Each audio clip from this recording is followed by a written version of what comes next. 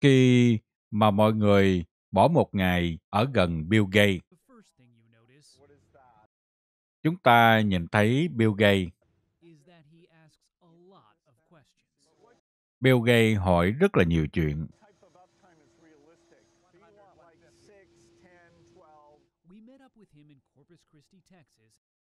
Đây là của đài gặp mặt Bill Gates ở ngay Corpus Christi nằm ở bên Texas. Bill Gates đang hỏi một cái công ty, đây là cái công ty mà đưa ra cái chương trình mà để làm xăng dầu.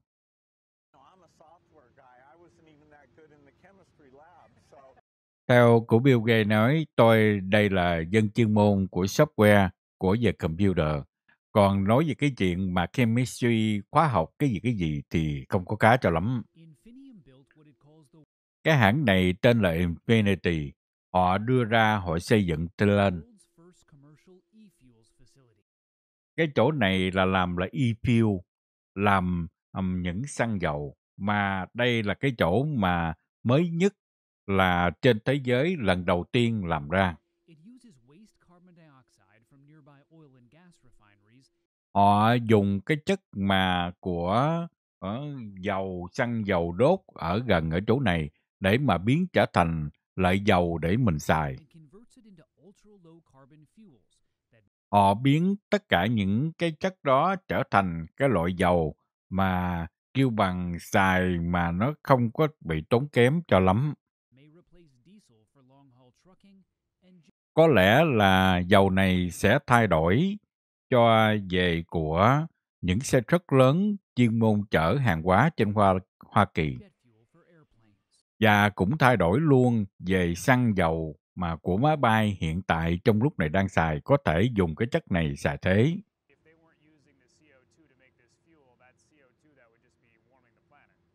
Nếu mà cái hãng này không có dùng cái chất CO2 của xăng dầu, của những cái chỗ xăng dầu làm đốt ra, thì tất cả những cái đó sẽ làm cho trái đất của chúng ta càng ấm thêm. Ông Bill Gates nói đúng rồi. Tất cả những cái này nó có cái lợi cho về xăng dầu của chúng ta ngày hôm nay. Đó là không có cần dùng xăng dầu mà hủy bỏ. Đây là dùng những cái chất mà xăng dầu mà đốt lên thì lấy cái đó để mà xài xài lợi thêm một lần nữa. Chiếc xe mà hiện tại họ đang ngồi chạy đây, đó là cũng dùng xăng dầu như vậy. Cái loại này đó là kêu bằng oil fuel, cái loại mà xăng dầu mà biến chế lợi của những cái gì quỷ bỏ. Làm như vậy thì nó giúp đỡ cho cái địa cầu chúng ta không có bị nóng thêm mà nó giảm bớt xuống. Và đây là xung quanh cái chỗ này đều dùng xăng dầu kiểu giống vậy.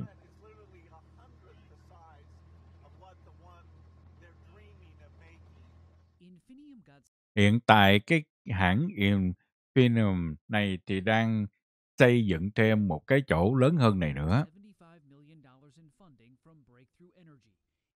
Đây là họ bỏ ra là 75 million dollar của Breakthrough để mà làm của một cái hãng khác đầu tư vô. Vào 2015, đây là cái chương trình của Bill Gates đã đưa ra mà xây dựng vào lúc đó. Đó là đưa ra là một số tiền rất là lớn để ủng hộ để mà làm sao để giúp đỡ cho về cái địa cầu của chúng ta của những cái hãng nhỏ nhỏ bắt đầu làm ra.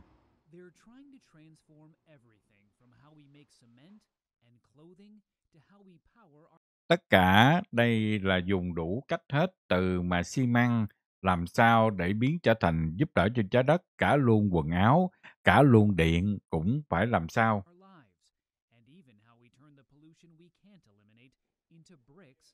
Cả luôn đó là lấy những cái chất mà pollution dơ bẩn ở trên bầu trời, biến trở thành những cục gạch để mà xài sau này. Hoặc là những cục gạch đó chôn xuống đất thì nó giúp đỡ cho đất như thế nào kế tiếp có nghĩa là những cái chất gì mà dơ bẩn trên bầu trời của bất cứ cái chỗ nào làm ra nó bị dơ bẩn thì họ có máy để mà hút những cái chất đó, biến trở thành những cái đồ mà đem chôn dưới đất hoặc là để xài lại một lần nữa.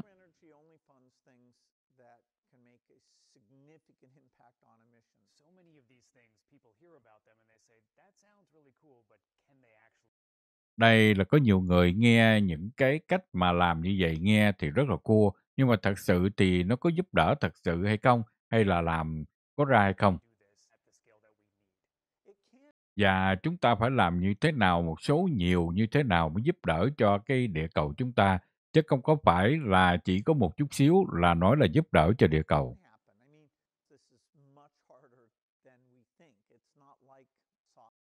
Đây là làm tất cả những cái này nó khó khăn, khó khăn hơn những gì chúng ta suy nghĩ. Nó không phải dễ giống như những cái software trong computer.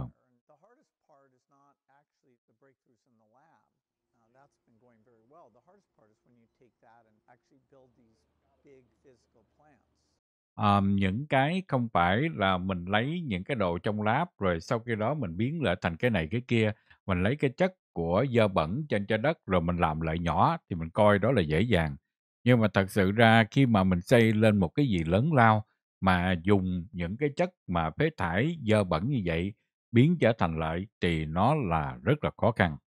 This is a particularly large reservoir under this King Ranch. One of those big plants will Một trong những cái chương trình lớn mà đang xây dựng đó là xây ở ngay cái chỗ mà đồng quê nằm ở Texas, chuyên môn nuôi bò lớn như vậy. Ở đây đó là chế một cái máy rất là lớn, chuyên môn hút những cái không khí dơ bẩn, những cái không khí mà đưa lên trái đất nó biến trở thành nóng thì ở đây sẽ xây lên một cái máy lớn để hút những cái chất không khí đó. and buries it underground. Sau khi đó hút rồi sẽ đem chôn xuống dưới đất luôn.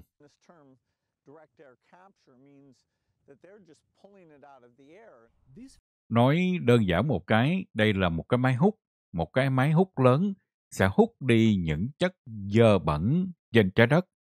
Không khí dơ bẩn sẽ biến lại sẽ dục xuống dưới đất. Giống như đây là nằm bên Iceland, một trong những cái chỗ mà xây lớn như vậy trên thế giới. operating plant, removing about 4,000 tons a year. Chỗ này đó là lấy đi những cái chất mà dơ bẩn trên không khí khoảng chừng 4 ton ở year. Not even a drop in the CO2 bucket. Tính ra đây là chỉ có một chút xíu thôi, không có bao nhiêu hết ở trên trái đất của chúng ta những cái hơi nóng. Nhưng mà cái mới này đang xây lên nằm ở hướng Tây bên Texas Stratos is expected to remove 500,000 tons per year. sẽ lấy đi 500 ton những cái chất mà dơ bẩn ở trên không khí mỗi năm. This is really the hub of CO2 enhanced oil recovery. And the Đây là cái chỗ mà bắt đầu mà CO2 để mà lấy, để mà biến trở thành không khí sạch đưa ra bên ngoài lợi. Một năm ở ngay chỗ này thôi có thể lấy đi 100 million ton những cái chất mà làm nóng cho cái bầu trời của chúng ta. Đó là tại vì xung quanh ở đây có về những cái chỗ mà chuyên môn làm xăng dầu bên Texas là một trong những chỗ làm xăng dầu rất là lớn. Thì có thể những cái máy này có thể hút những cái chất đó vô trong để mà biến thành.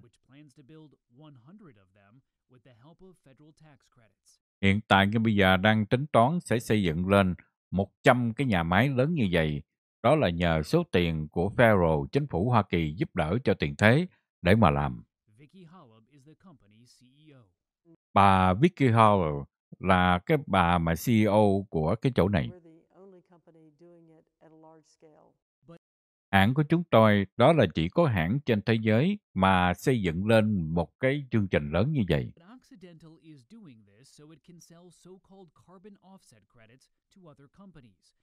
Nhưng mà đây là hút đi những chất này, đó là sẽ làm lợi, rồi sau khi đó là bán những cái đồ đó qua những cái hãng khác. Đó làm cho là một cái số tiền mới, một cái vật dụng mà dùng lấy của không khí dơ bẩn biến ra trở thành xài cho một cái khác để mà tiền bạc thêm. will also take the CO2 captured at its Stratos plant and inject it back into the ground to push out more oil. Và họ cũng dùng cái chất CO2 mà lấy trên không khí rồi sau khi đó đưa xuống dưới đất trở lại. Sau khi đó một thời gian nó biến trở thành dầu trở lại. Cho nên tính ra đây là một cái công nghệ chạy vòng vòng. Thì xài nó cũng nói là giúp đỡ cho không khí trên địa cầu nhưng mà cũng không giúp đỡ cho lắm. Tại vì biến những cái chất dơ bẩn đó thành dầu. Sau khi đó thì lấy dầu trở lại để xài đưa lên không khí trên hình trái đất thì nó vòng vòng cũng giống y hệt như nhau.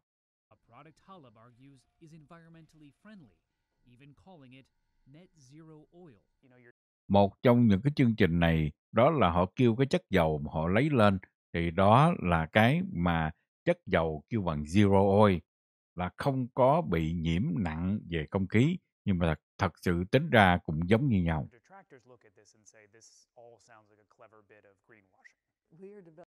Đây là đòi hỏi bả với tỷ như người ta nhìn. Đó là nhìn thấy rõ ràng là cái kiểu cách làm như vậy đó. Không khác nào là đưa tay trái vòng qua tay phải thì nó cũng bị ảnh hưởng giống hệt nhau thôi. Thì nói như vậy thì bà nói như thế nào?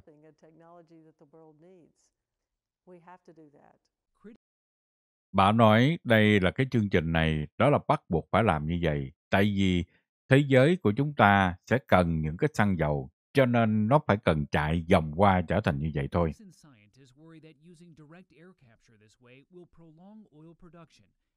Theo của khoa học nói về cái chuyện mà dùng mà không khí như vậy đó thì nó cũng có một cái lợi, nhưng mà tính ra thì nó cũng vòng vòng, cũng giống nhau đó, nó không có cái gì cho lắm. Nhưng mà hiện tại ngay bây giờ đó là những gì cần thiết. Tại xăng dầu thì một thời gian thì nó sẽ bớt đi, và xăng dầu không còn nữa, phải dùng cái cách khác. Thì cái này có thể biến trở thành dầu, mà dầu để xài thì nó cũng giống giống nhau đó. Thì nói chung là đốt bên trái dằn qua ta phải, đốt lên lên khối lên trên, rồi sau cái đó hút chất đó để làm trở lại thì nó vòng vòng kiểu vậy. Ok đó là của đài bảo cho biết nha. It's everything goes circle right? It's vòng vòng giống nhau đó. Còn đây là của đài ABC báo cho chúng ta biết tin ngầm này. Ngày hôm nay là tương lai của ông Mike Johnson, chủ tịch của Hạ viện, đang bị rung trong lúc này. Ngày hôm nay, những người trong đảng của ông ta đang kiếm cách để tẩy chay ông ta. Tính ra tới trong lúc này, Mike Johnson làm chủ tịch của Hạ viện chỉ được 6 tháng. Theo bà Green nói là ông Mike Johnson làm chủ tịch đã xong rồi. Sau khi vào bữa thứ Bảy vừa qua, đảng Dân Chủ đã bầu. Đó là đảng Dân Chủ đã đứng ra giúp đỡ cho ông Mike Johnson đưa ra cái chương trình là giúp đỡ cho Ukraine và những cái nước khác là khoảng chừng 91 tỷ đô la. Liên tiếp đã rất lâu về chuyện xảy ra bên Ukraine, về giúp đỡ bên đó thì bị kẹt lại mấy tháng trời. Tới ngày hôm nay được giải quyết. Và cả luôn là chuyện giải quyết nằm ở bên Israel. Theo ông Mike Johnson nói cho đài biết, ông ta không có đi đâu hết. Đài hỏi ông Mike Johnson, ông tin tưởng là sắp tới đây vào tháng 10-11 đó thì ông vẫn còn là chủ tịch của Hạ viện. Phải không? Thì ông ta nói đúng rồi, yes. Ông ta nói là không cần hỏi, ông ta sẽ trở thành chủ tịch của Hạ viện tiếp tục. Ngay bây giờ thì có hai người nằm trong đảng Cộng Hòa cũng đứng chung với bà Green để đưa ra nói về chuyện này. Bà Green hiện tại trong lúc này đang làm một cái campaign để kiếm cách làm sao để tẩy chay ông Mike Johnson. Đây là ông dân biểu tên là Thomas. Dân biểu ở Kentucky nói cho biết hiện tại ngay bây giờ nằm trong quốc hội đang rất là lộn xộn. Đó là chúng tôi kiếm cách làm sao để tẩy chay đi ông Mike Johnson để làm cho quốc hội trở lại tốt, tốt giống như trước. Còn đây là ông Michael McCall nói cho biết.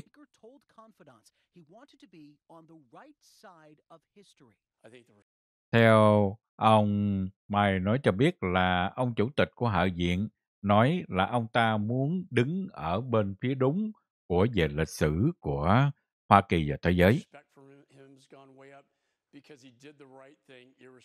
Theo ông Michael O'Connell nói, hiện tại tôi đây là cảm giác ông Mike Johnson là tôi cảm thấy là phục ông ta hơn.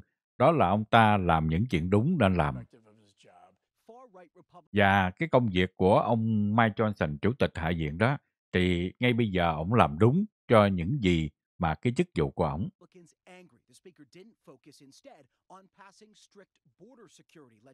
Còn đối với một số người nằm trong đảng Cộng Hòa thì họ không có vui cho lắm. Họ còn giận dữ nữa nói về cái chuyện mà ông Mike Johnson không có chịu đưa ra cái chương trình để mà giúp đỡ ngay biên giới của Hoa Kỳ trước khi mà đưa ra chương trình giúp đỡ bên nước bên kia.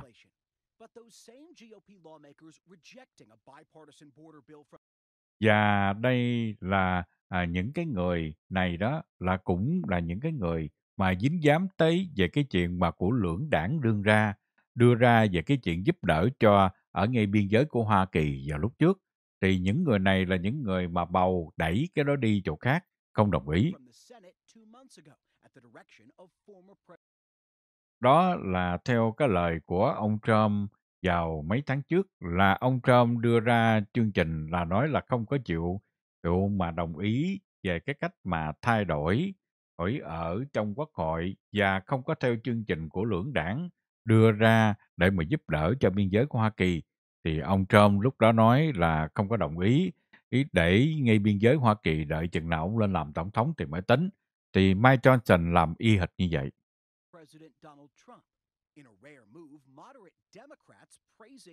Hiện tại trong lúc này thì nói về đảng Dân Chủ cũng đưa ra nói về chuyện này.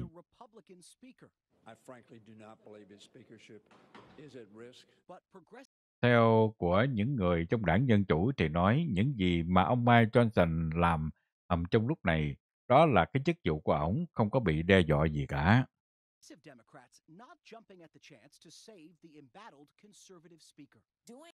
Ngay bây giờ thì những người đảng Dân Chủ thì có một số thì đứng một bên, hình của ông Mike Johnson có một số là không.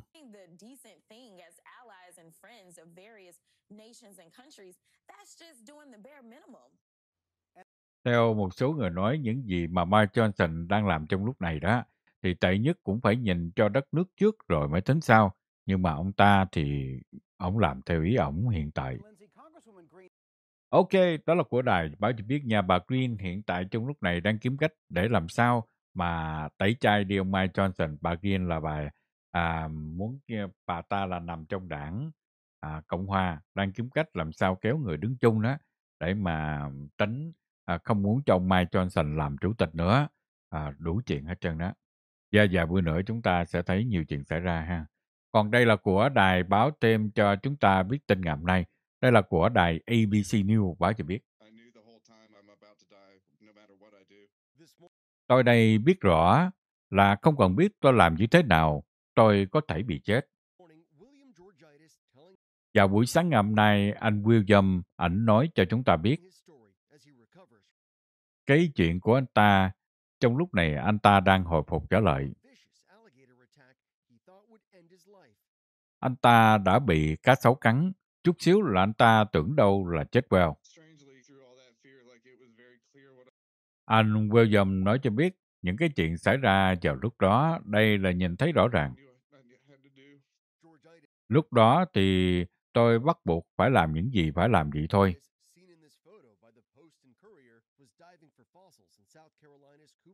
Anh ta lúc đó đang lặn xuống để mà kiếm những cái xương ở bên South Carolina. đang lặn xuống dưới nước, sau khi đó nhìn thấy nguyên con cá sấu lù lù bơi tới. Cá sấu bơi từ xa tới anh ta cách khoảng chừng 20 feet. Lúc đó anh ta đang ở dưới nước. Rồi sau khi đó, con cá sấu cách tôi khoảng chừng một phút, quay đầu lại hả miệng ra bơi thẳng lại. Đó là một ba cắn vô cái vai của tôi và cái đầu của tôi. Rồi lúc đó tôi thấy vậy tôi giơ tay lên tôi đỡ. Rồi cá sấu lúc đó một ba táp vô cái tay của ảnh luôn. Rồi lúc đó anh ta à, trong tay có cầm một cái cây dít. Cây dít đó là anh để lặn xuống dưới nước để anh tìm những cái xương của thời xưa thì ảnh cười dưới nước. Nhưng mà lấy cây dít đó, ảnh chống lại con cá sấu.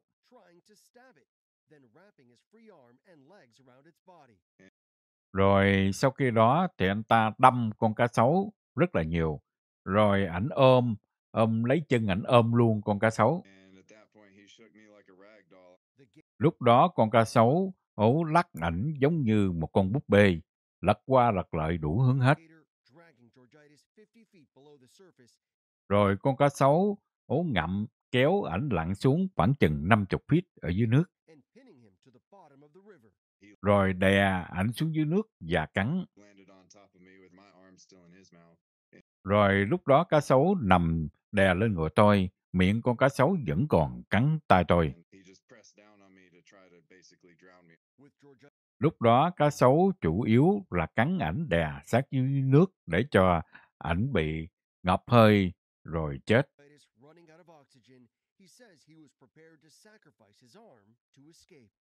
Lúc đó thì anh ta sắp hết hơi và anh ta cũng quyết định là có lẽ là bỏ luôn cái tay của mình để mà trốn khỏi con cá sấu.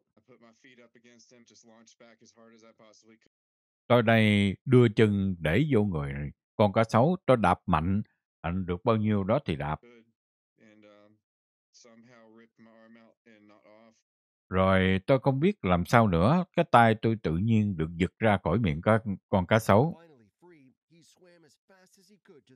Lúc đó một ba là được xuất ra thì anh ta lội nhanh được bao nhiêu đó thì lội. Rồi sau khi đó lội lên phía trên, bạn của anh ta phía trên kéo ảnh lên tàu ngay lập tức, chở vô trong nhà thương cấp cứu.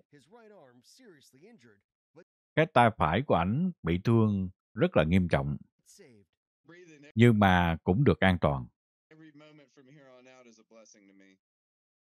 Anh ta nói, tới ngay bây giờ, cuộc sống của tôi bắt đầu từ bây giờ cho tới sau này, đó là kể như là một cái rất là mừng, có được, được cái mạng để sống lại. Đó là của đài ABC báo cho biết, còn đây là của đài báo thêm cho chúng ta biết. Oh, here we go, đây là đài chiếu cho chúng ta xem hiện tại ngay bây giờ, ở ngay trường học, ở ngay trường học của ở bên New York, ngay trường học Columbia University. Take a look at this.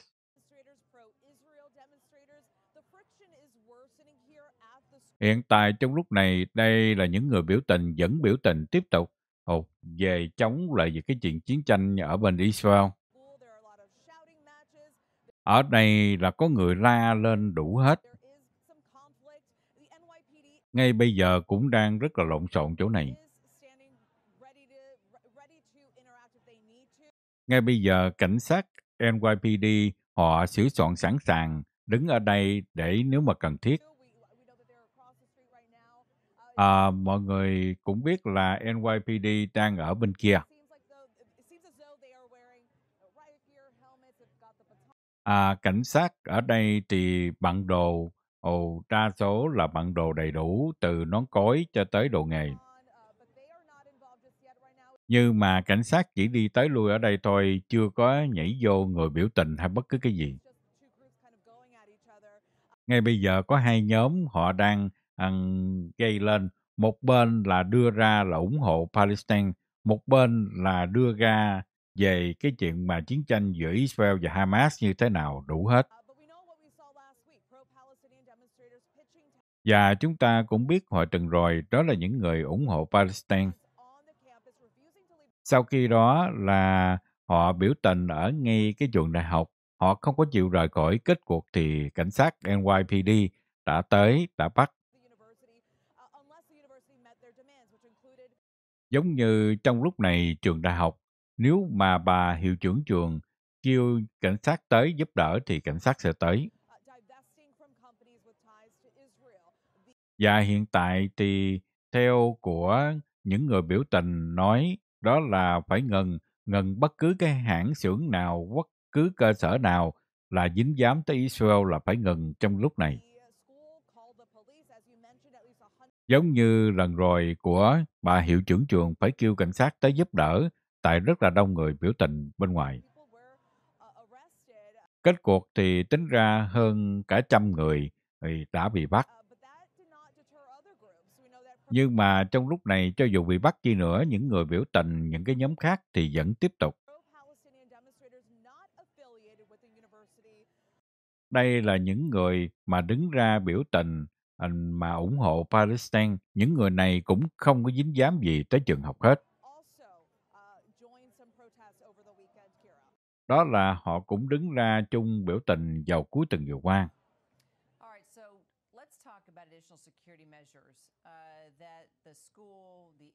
Đây là nói về cái chuyện mà an toàn của trong trường đó, thì ngay bây giờ nó đang xảy ra như vậy. Ok, đó là của đài ABC báo cho biết nha. Một hồi họ báo thêm cái gì đó Andy báo cho biết. Còn đây là của đài ABC báo thêm cho chúng ta biết tin ngày hôm nay. Hold on, đợi chút xíu nha. Take a look at this.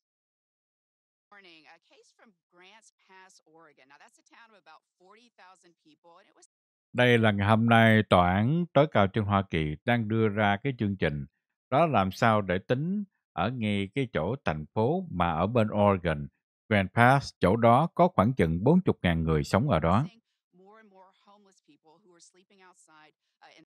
Theo những người dân ở ngay thành phố đó nói cho biết càng ngày càng nhiều người, những người homeless sống ở bên ngoài. Họ ngủ ở trong xe hoặc ngủ ở trong liều. Và trong lúc này thì có nhiều cơ sở làm ăn và những người ta sống xung quanh thì người ta bắt đầu báo lên cho chính phủ biết. Rồi sau khi đó thì ở bên Oregon chỗ này, lúc đó mới đưa ra luật lệ, đó là cấm những người vô gia cư như thế nào, như thế nào. Rồi cả luôn là chính phủ bên thành phố ở đây đưa ra nói có thể bị bắt rồi bị ở tù cả ba chục ngày trở lên.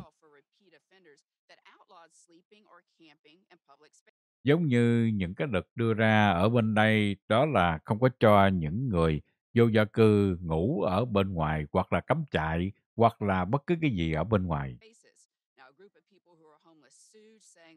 Ngay bây giờ thì một số người vô gia cư ở đây đang thưa ngược lại chính phủ bên Oregon.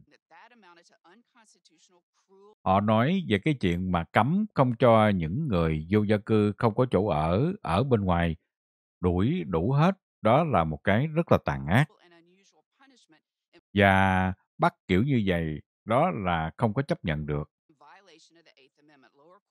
Và đó là cũng không theo cái chương trình mà của Hoa Kỳ đã có từ xưa cái amendment thứ thứ 8 cái luật lệ trên Hoa Kỳ. Và trong lúc này thì họ những người mà à, của những người vô gia cư thì họ đang đưa lên để mà chặn lại không có cho chính phủ bên Oregon đưa ra cái luật lệ này. Lần này đó là ảnh hưởng rất là lớn cho ở trên Hoa Kỳ. Giống như cả luôn nhiều thành phố trên Hoa Kỳ, rất là nhiều người vô gia cư nếu mà lần này đâu ra đó luật này đưa ra được thì nhiều cái chỗ ở trên Hoa Kỳ cũng sẽ làm giống y hệt như vậy. Thì giống như ông thống đốc ở bên California cũng muốn làm như vậy.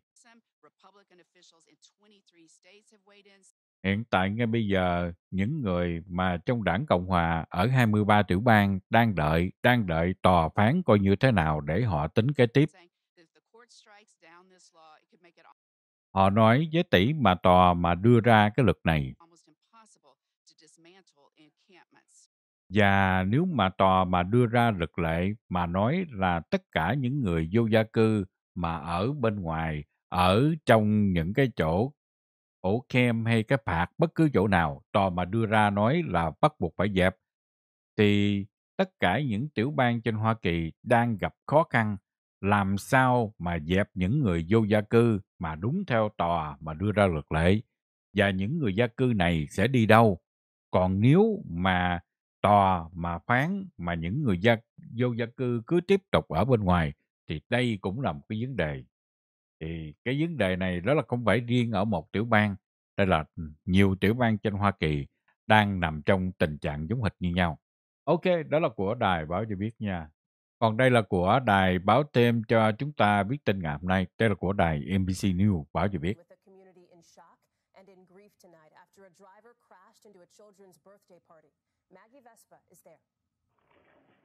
Đây là chuyện xảy ra một người lái xe, lái xe lủi vô trong cái party. Đây là đài báo cho biết. Ngày hôm nay, chuyện thảm khốc xảy ra Michigan. Người này lái xe xỉn mà chạy lủi vô như vậy. Cái người này lái xe xỉn chạy qua ở đây có nhiều máy quay phim đã quay được nhìn thấy. Chuyện này xảy ra vào bữa thứ bảy vừa qua. toward a boat club.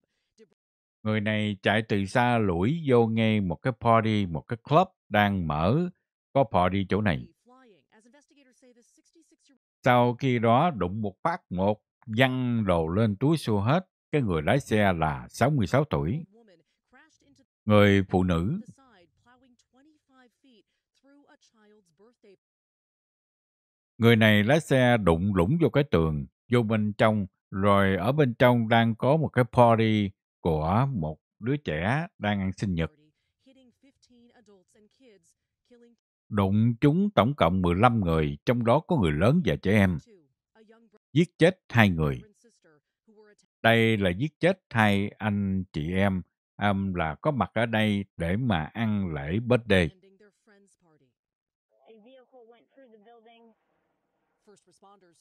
Sau khi đó là First Response chạy tới đây để giúp đỡ. Chỗ này là nằm ngay Newport, Michigan. Newport Swan Boat Club south of chỗ này là cái à, chỗ mà của cái nhóm của về tàu bè họ có cái club ở đây. Ở đây là nằm về hướng nam ở Detroit Michigan. theo được báo cho biết đây là có nhiều người hiện tại đang bị thương ở dưới đất. Rồi còn cộng thêm một số trẻ em cũng đang bị thương theo ông sếp cảnh sát Troy ở ngay cái quận ở đây báo cho biết khi First Response tới đây nhìn thấy một chiếc xe lủi văng vô bên trong làm cho lộn xộn xì ngầu chỗ này lên hết Cảnh sát đây vừa báo cho chúng ta nghe, vừa chảy nước mắt, nói về hai đứa nhỏ đã chết. pronounced deceased at the scene. Hai đứa nhỏ bị đụng chết ngay tại chỗ.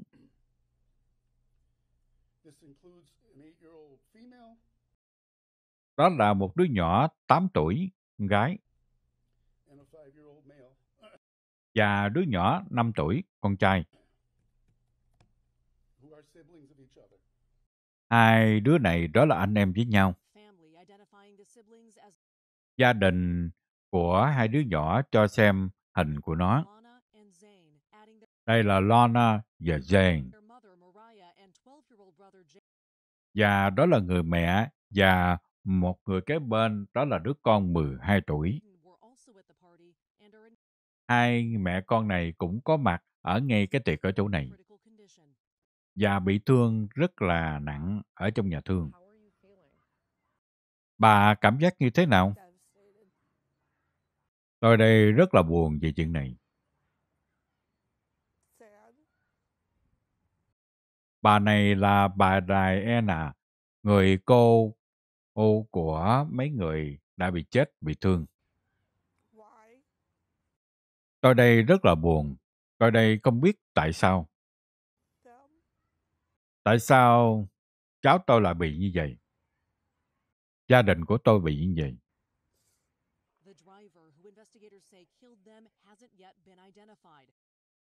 Theo được biết, cái người lái xe xỉn này chạy lũi đụng vô cái building, chưa có nói cho biết người này tên gì là ai. Theo của nhà chức trách báo cho biết, bà ta trong lúc này đang bị bắt, đang bị bắt về cái tội là uống rượu xỉn và lái xe. Và đã đụng chết người. Ngay bây giờ thì đang bị thưa lên đó, à, tòa trong lúc này. Và uống rượu xỉn mà chạy xe rất là nguy hiểm đó. Gần à, xỉn chạy lũi đụng một phát là chết người, chứ không phải dẫn chơi đó. Còn đây là của đài báo thêm cho chúng ta biết tin ngày hôm nay, tức là của đài ABC báo cho biết. Tonight, the NYPD issuing an alarming warning on the eve of Ngày hôm nay của NYPD đưa ra cảnh báo Passover, saying in a bulletin obtained by ABC News that theo của đài ABC News được biết.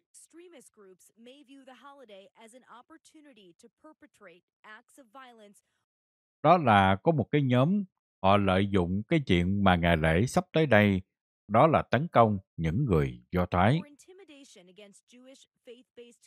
Hoặc là làm bất cứ cái gì để đe dọa những người Do Thái cộng đồng.